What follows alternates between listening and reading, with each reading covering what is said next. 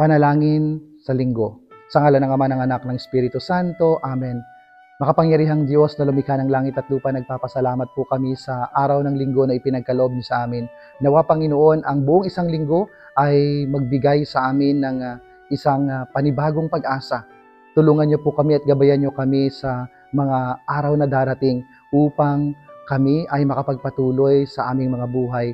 Panginoon, huwag niyo po sana kaming ah, iadya sa lahat ng masama at tulungan niyo po kaming ah, magampanan ang aming mga gampanin sa loob ng isang linggo na ito.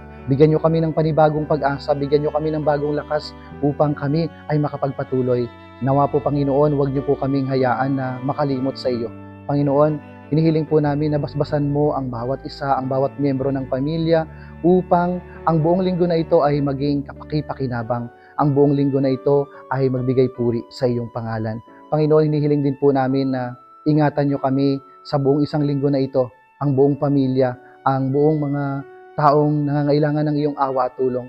Ganon din po ipinapanalangin namin ang mga may karamdaman, bigyan niyo po sila ng kagalingan. Ang mga taong may malaking problema at suliranin sa buhay, gabayan niyo po sila at ipadala niyo ang inyong biyaya. Panginoon, hinihiling po namin na ingatan niyo po kami sa buong isang linggo. Hinihiling namin ito sa pangalan ni Kristo, ang aming Panginoon ngayon at magpa sa walang hanggan. Amen. Sumainyo ang Panginoon at pagpalain kayo ng makapangyarihang Diyos, Ama, Anak at Espiritu Santo. Amen.